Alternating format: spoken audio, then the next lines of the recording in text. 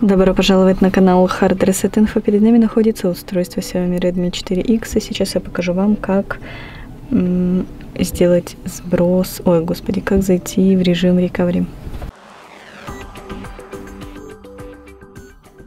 Итак, для начала мы отключаем телефон.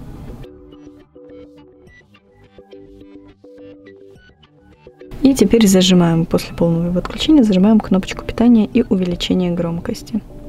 Держим. Когда появится логотип, можем отпустить кнопочку питания.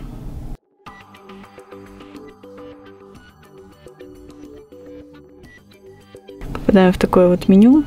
Здесь вообще ничего не понятно, конечно, но нам нужно зайти в режим рекавери. Рекавери, слава богу, нормально написан. Нажимаем на него, нажимаем на синюю кнопочку.